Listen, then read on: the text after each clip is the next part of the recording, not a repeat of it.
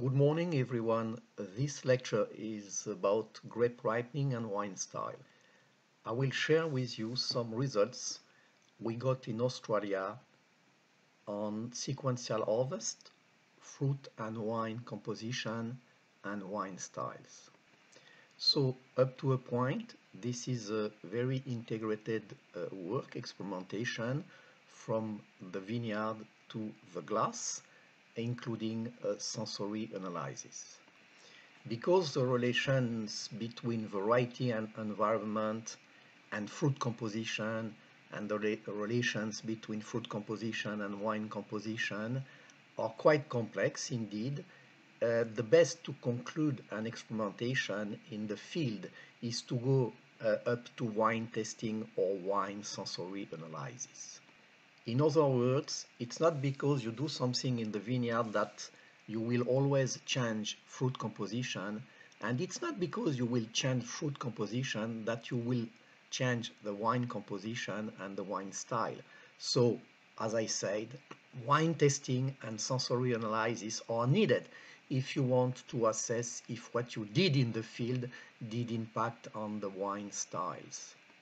So where the experimentations have been done in two regions of uh, Australia. One is called Orange, which is a cool temperate climate, and the other one is called Griffiths. Both are in the New South Wales. I will speak only about the results on obtained in Griffiths, which is a warm, uh, hot climate. Why? Just because I don't have time to speak about both regions within this lecture. We are busy to publish the results, so I will send you the publications when they will be edited. This is an example of vineyard in the Griffiths area of New South Wales and you see that uh, the vineyards are under irrigation because it's a dry soil and then the training system is a sprawling training system meaning that the vines are not released and then uh, all the vines are mechanically pruned. This is an example of the sprawling training system uh, around Veraison. As I already said, this training system is very clever physiologically speaking helping to increase the exposed leaf area and uh, allowing to have a, a, real good bunch microclimate. When I speak about a real good bunch microclimate, it means that because it's a warm hot area which is subjected to heat waves, this way of uh, trellising, meaning there is no uh, trellis for this training system, they don't trellis, uh, it helps to really nicely protect the, the bunches and as I said to increase the exposed leaf area. Of course uh, you need to control the vigor with irrigation and uh, you have to avoid high vigorous situation uh, playing with water you have to avoid to have a high vigor because then the, the within the canopy the risk is to get some uh, diseases the distance between uh, uh, rows is 3 meters, allowing mechanization, obviously. So, this figure is representing the evolution, the accumulation of sugar per berry and the evolution of berry fresh mass of 100 berries and this is the dot line. The red dot line represents when the plateau of sugar accumulation has been reached according to our model I already spoke about this model to you uh, within the previous lectures. And then according to this model, which is a certain number of days uh, after the plateau of sugar accumulation to decide when to harvest, we decided to do two harvest dates for the Shiraz. The first harvest date according to the model is 12 days after the plateau of sugar accumulation, which is H1, and the second date is around 24 days after the plateau of sugar accumulation, which is here H2. You will observe that uh, because of uh, irrigation, it was possible in this situation to maintain the volume of the fruit quite stable obviously you have a certain variability uh, because we work with a population of berries and that is explaining because the sugar is no more accumulated and the volume of the berry is quite stable. This is explaining why uh, between the first harvest date and the second harvest dates uh, the Brix increase the concentration of sugar is not increasing that much. And you will see that irrespective of sugar concentration the evolution of aromas and, and phenols continue so according to our model that I don't really have time to explain everything here, but the first harvest date for Shiraz is called fresh fruit and the second harvest date according to the model is called mature fruit. So practically speaking, uh, immediately you will see that with this model you are able to predict up to a point the harvest dates according if you want to harvest fresh fruit or mature fruit. The prediction is from the plateau of sugar accumulation on the berry population. Some results. We are busy with these methods and we are not the only uh, since more than 15 years and each time we do harvest irrespective of the variety, each, each time we do harvest fresh or mature fruit or both, because you can blend, a panel using some sensory analysis is always able to differentiate the two uh, wine styles. And here I forgot to tell you that we have been working over three vintages as well. And this, uh, I do represent here the results from 2014 and 2015 only. So these uh, aromatic sequences I mean fresh and mature fruit, is irrespective of the terroir, is irrespective of climate, it's irrespective of the soil, it's irrespective of the cultural practices. For a variety, you will always have those stages, fresh and mature fruit. Now, depending on the variety, the date to get from the plateau of sugar accumulation, uh, depending on the variety, the number of days will differ from the plateau of sugar accumulation, as I said. For example, for Shiraz, Merlot, Pinot Noir, the fresh fruit stages will be reached around 10 to 12 days after the plateau of sugar accumulation. Mature fruit will be reached 24 days, around 20-24 days after the plateau of sugar accumulation.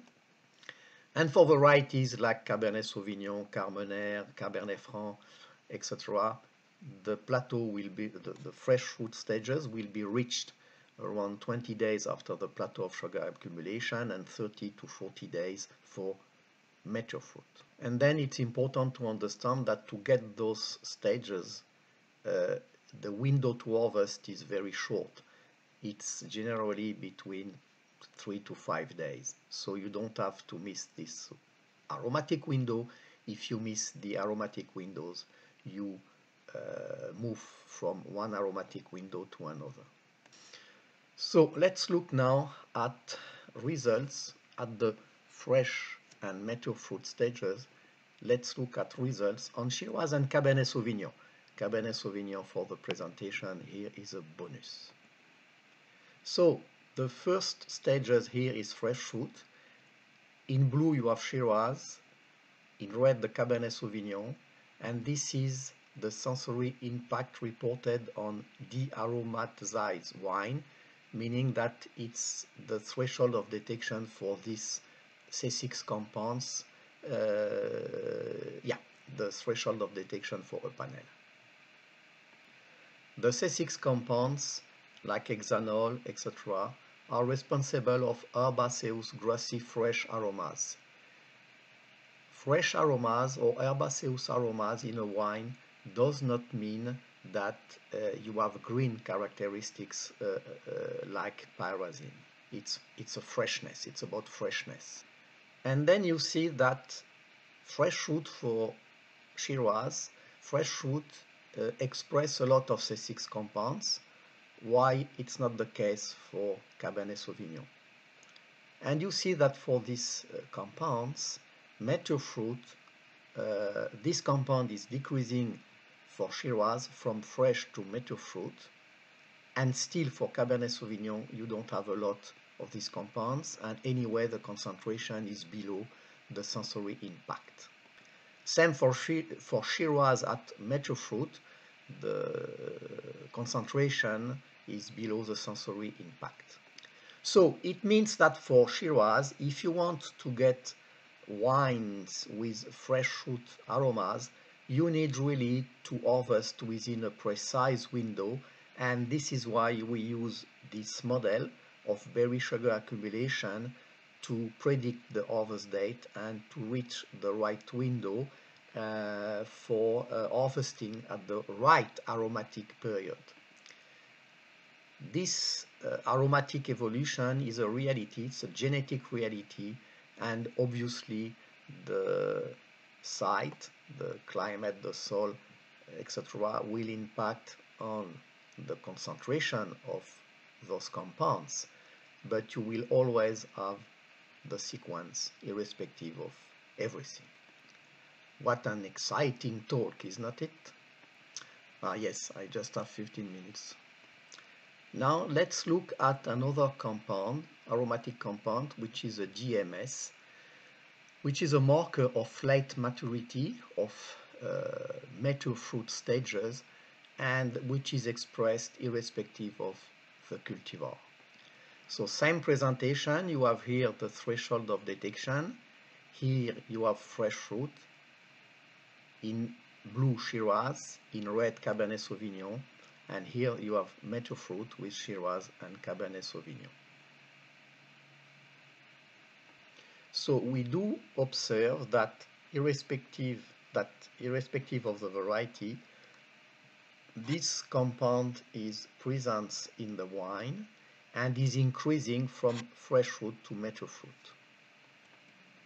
And for both varieties, and we do observe that this compound is more important in Cabernet Sauvignon than in Shiraz. So practically speaking, it's interesting because it means that if you want to have a fruity Shiraz, perhaps it's better to target mature fruit. Mature fruit which is for Shiraz around 20-24 days after the plateau of sugar accumulation. Now for Cabernet Sauvignon, you already have a fruity wine which is not too herbaceous and I'm not speaking about pyrazine here which is another story but you already have a fresh fruit at the fresh fruit stages for Cabernet Sauvignon you already have wines which will be fruity and not such herbaceous or not too herbaceous sorry. And you will be surprised to know that in most wine regions in the world including Bordeaux the Cabernet Sauvignon is harvested at the fresh fruit stages or a bit after because it's quite difficult to reach the mature fruit stages. Why? Because as I said, the fresh fruit stages for Cabernet Sauvignon is reached 20 days after the plateau of sugar accumulation and for mature fruit it will be reached uh, 40 days, around 40 days after uh, the plateau of sugar accumulation. And to reach the plateau of sugar accumulation, it will take as an average 25 days to 30 days. So if you look at the duration to reach the plateau of sugar accumulation, let's say 30, uh, 30 days, yes, plus the, the, the 20 days to reach the fresh fruit stages, it's already 50 days. And this is explaining why uh, for those varieties like Cabernet Sauvignon, uh, a lot of vineyard they are harvesting fresh fruit stages fresh fruit stages is just a denomination because we had to give a name, but you can call it uh, whatever you want, but we need to put names on, on things if we want to, to speak the same languages. And you see that I forgot to tell you, but it's right and on the slide, the DMS is responsible of dark fruit, chewy fruit, truffle in the wine. And don't forget that DMS is revealed during aging as well, which is making the story of DMS complex there is a PhD in Bordeaux on DMS and they start to show uh, as to be confirmed that DMS could be released by tannins during the aging process to be confirmed. To go further with this uh, approach, we did some metabolomics uh, analysis and why this method is strong and this is really a, a strong model and there is no more a uh, lot of discussion around it. It's because normally when we speak about uh, analyzing compounds uh, while harvesting, uh, we speak about just a few compounds. Here we did a metabolomics uh, approach which was targeted and untargeted. And you see that during ripening and after the plateau of sugar accumulation, the harvest date fresh fruit and the harvest dates uh, mature fruit do correspond to hundreds of compounds which are expressed for most of them specifically at those stages. So I will give you the I will provide you with the publication, but this figure is not really readable and we cannot read the name of the compounds. But this is what uh, omics uh, representation and figures uh, is about. So you have to trust me first and then uh, to read the publications on the on the topic. So to summarize, significant modification of 175 wine volatiles according to the harvest dates were showed, irrespective of the vineyard management within the same macroclimate, which means that you have really uh, an evolution of the aromas uh, irrespective of the, the site, the, the terroir. Let's say, up to our knowledge today, that it's genetics. The wine polyphenols were less influenced by the harvest date, and obviously uh, sensory analysis is able to uh, recognize the two stages. About polyphenols, we always speak about tannin and anthocyanins, but with omics approach, metabolomics approach, we, we are able to detect more than, in this case, we detected uh, 53 uh, polyphenols and they are not really uh, influenced by the harvest dates. Uh, surprising, is not it? So I cannot get rid of this uh, rectangle where uh, I do pause and I do register uh, irrespective of what you asked. I don't know how to get rid of that. So anyway, you will have the PowerPoint presentation on side and then I will provide you with publications. So to summarize about polyphenol, it seems that sites and vineyard management uh, are more important uh, influencing polyphenol, wine polyphenol than uh, other dates. The related publication, we did something on polyphenols in South Africa as well. I will send you a few publications on that. Uh, it's about the effect of uh, abiotic factors, water, light, and temperature on polyphenols. those abiotic factors are more important on polyphenols than uh, harvest dates. Uh, of, obviously, they are important for aromas as well, but for aromas, the harvest date is crucial.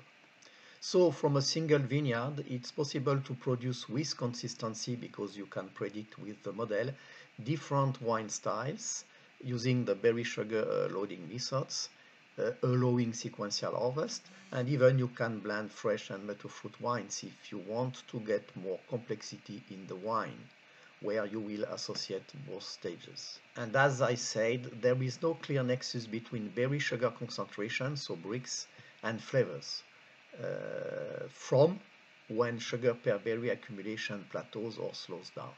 This is very important to uh, understand because harvesting according to alcohol to Brix it's just harvesting according to a sugar to a concentration of sugar it's not harvesting according to phenols and aromas. That's something you need to keep in mind. It's important. The, the dream team when I was in uh, Australia uh, with my fantastic colleagues and the metabolomic approach uh, approaches have been done in Italy. We have been working in uh, Australia with uh, uh, De Bortoli, McWilliams, Philip Shaw, Cumulus wineries. There are big wineries in New South Wales. And uh, these uh, studies have been funded by the Australian government, by the Australian Grape and Wine Authority. So thank you very much for your attention. You will have on this slide uh, my the address, the link with my professional websites, website, yeah, and where you will find uh, a lot of publications, uh, Uh, practical publication or scientific publications. Keep well. Bye.